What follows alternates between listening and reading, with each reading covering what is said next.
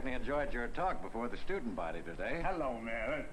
Well, thanks. I am always glad to speak of the importance of civic responsibilities, especially to the youngsters. You know, there's too much let George do it. Something for nothing thinking going on around these days. Yes, I know. Hello, Mr. Wilson. Oh, hello, Miss Robinson. You know, it seems to me that you're in a very good position to get to the trend of this, Merritt, right in the classroom. Well, as a matter of fact, this something for nothing attitude that you speak of used to crop up in my classes all the time. Now, seeing Miss Robinson reminds me of an experience I had with it once. If you have time, I'd like to tell you about it. It might be encouraging to you. Are you walking? I'll listen. Well, it all goes back to my first PTA meeting. Now, after I was introduced, I gave a short talk. You know, expressing my general approach to economics. And there were several... Certainly has been nice meeting you, Mrs. Johnson. Good night. It's nice to have met you, Mrs. Davis. Good night. I think the board made a very good choice, don't you? Oh, I think he's cute. Well, after the meeting, we had coffee and sandwiches to help us get acquainted. I felt as if I were perched in a glass cage. I could almost feel eyes looking me over. Some of their appraisals I could hear. Daddy, don't you and Mother want to meet the new teacher? I don't want to meet him. I don't like him. Will. I don't like my daughter being exposed to his horse and buggy, Horatio Alger work, and wind baloney. This pious prejudice against the welfare state is nothing but a front for special privilege. I tell you, he's the kind of a teacher that blocks progress. Well, please. Mary, that man actually glorifies the personal gain motive. And besides that, And there it was, right down the line. It was a shock. But I was glad to know at the outset that I must be prepared for such as this. you're supposed to be preparing for a new dynamic world. Daddy, please, he'll hear you. I don't care if he does. I have a right to express my opinions. That's more than you'll get in his classes. Now, class, it's just as important to our economic health that all of us understand the mechanical operation of our economic body and how to avoid behavior injurious to it as a knowledge of the functions of our physical body and the proper treatment of it is to our physical health. Let's consider then the elements which make up man's material welfare.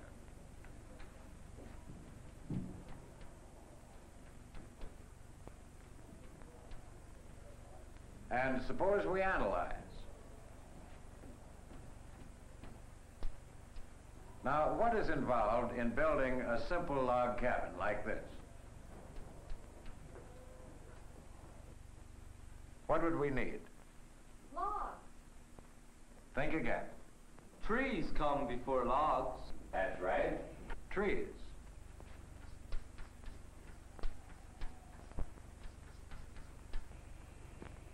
All right, now what else do we need?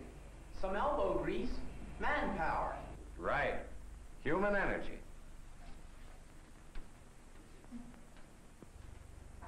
What else? Well, a man has to have something to work with, doesn't he? An axe. A saw. That's right. A tool. Well, an axe is easier for me to draw. There. Now, this crude artwork illustrates that everything which contributes to man's material welfare is the product of natural resources plus human energy multiplied by tools. Man works, that is, produces goods and services by applying his energy to natural resources with the aid of tools.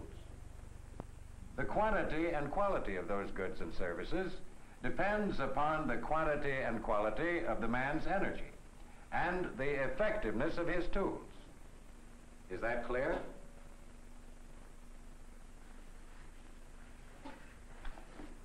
Now, the man who works all day long plowing his fields with the help of an ox can probably raise only enough food for his own use. But if the farmer works all day long, plowing his fields with a team of horses, he can increase his food production. He can probably raise enough for three families. And if the farmer uses a tractor to plow his fields, he can raise his food production to enough for five families. Now you can see that since the human energy remains the same in all three of the food examples, the increase in man's material welfare is due to the improvement in the tool applied to the job. Now this is a simple illustration to show that man's material welfare has increased according to the increase in the effectiveness of his tools of production. And these tools came into being for the simple reason that people wanted to get ahead. And they were willing to sacrifice to get the tools. Is that clear? Gail? But people no longer get ahead as individuals. They get ahead as cooperative groups, not trying to tear each other down, but, but build each other up. No person can be secure economically as long as anybody else is insecure. The underprivileged must be rewarded according to their needs, and not just according to what they produce.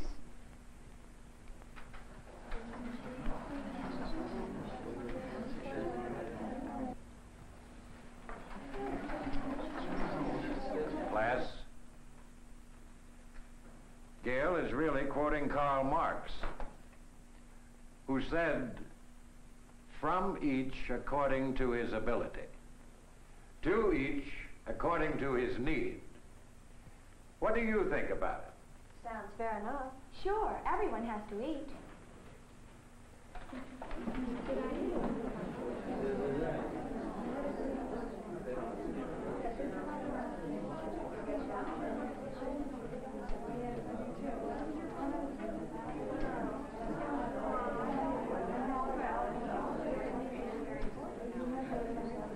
All right, class. All right now. I want you to think about this. Really think how it will affect you. And we'll talk about it later in our next class.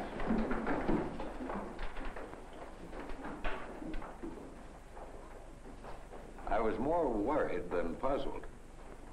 How could I combat this kind of thinking? What could I do to get back at the source of indoctrination of students like Miss Robinson? It's my job. There must be a way. Well, at least I have until tomorrow.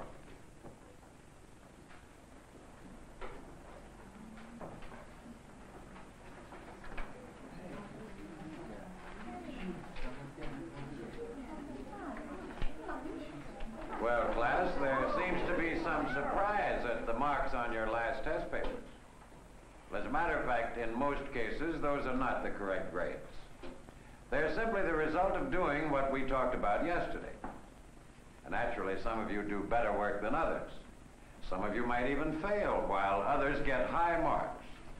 But following this motto, we've taken the high marks and divided them up with the low ones. That way, everybody passes, even the poor students. That's fine, but I don't want my grade cut down. I work hard for my marks, and I want what I earn. I know I did better than this. We deserve credit for what we do. My dad would cut my allowance. The kids with the best grades get the best jobs. It just isn't fair. Well, suppose we give you a chance to think this grading system over and continue our discussion tomorrow. Talk it over with your parents if you want to.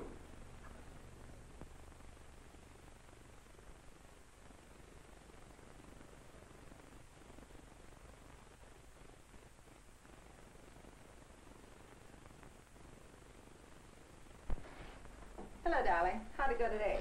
I really don't know, Mother. Oh, strange answer. Anything wrong? No, not really. I'm just mixed up, that's all. Well, what's the matter, child?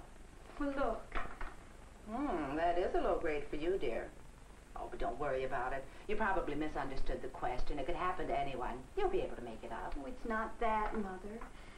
Yesterday, the teacher was telling us that American prosperity was based on personal progress and private ownership of tools of production. Well, I got up and said what Daddy's always telling me, that, that real progress could only come when people's needs were recognized by the privileged class. Well, today we got our test papers back, with those grades. Teacher said he was following the rule we all agreed yesterday was the right one. From each according to his ability, to each according to his need.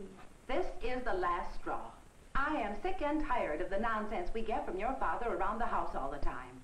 From each according to his ability. Personal progress is the law of the jungle. Bourgeois. Just wait till he gets home. I'll... And what will you do, my love? Give me a kiss. What's for dinner? Now, will you listen to me? I... Gail, go set the table for dinner. Yes, Mother. No, you don't. Will, I'm serious. You've got to promise to quit filling this girl's head with all those silly notions that fly right in the face of nature. You know we want Gail to go to college. Oh, I don't know about that. But even if she goes out to get a job after she's through school, she's got to have good marks to get a good job. What's this all about, anyway? She gets good marks, doesn't she? No, she wouldn't if you had your way. You'd have everybody knocked down to the same level. Now, wait a minute. What's got into you? I've got a right to any ideas I want. Yes, even at your own daughter's expense. Well, just look at the grades that girl came home with today. You know she's a better student than that. And it's just because her teacher agreed to follow some of your precious ideas. Oh, I hope he's not serious about all this. Is this your real grade, Gail? Well, this is the grade I earned, Daddy. But in order to treat everybody in the class equally, the teacher had to subtract 20 from my mark.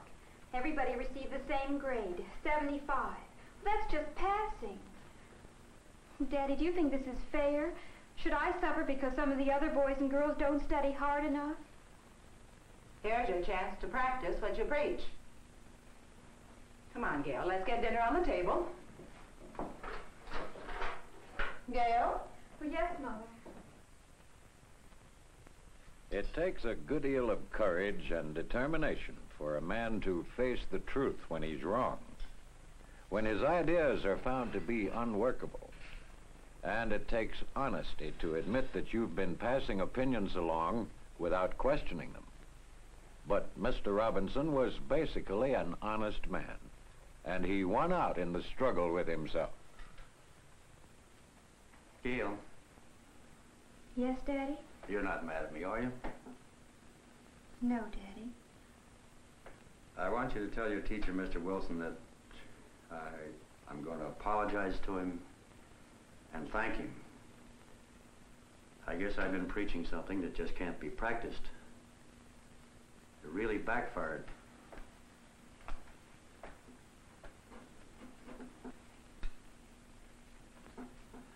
I'm very proud of you, and you're much better than the average, and I always want you to be. Thanks, Daddy. Well, the next day, Gail made a little speech before the class that really warmed the cockles of my heart. And the whole class agreed with her that incentive is an economic necessity. When I asked them what would happen to production if there were no incentive for adult workers, they answered that some sort of a policeman would have to make people work. Now, how's that for a happy ending? It's a wonderful story, Merritt. So beautifully simple. You know, Merritt, if you were eligible, I'd like you to run for city council. Well, thanks, Mr. Mayor. I do have a good friend who really knows the score that I'm sure you could interest. Well, your recommendation is good enough for me. Who is he? Mr. Robinson, Gail's father. Well, I'll be... Think it over.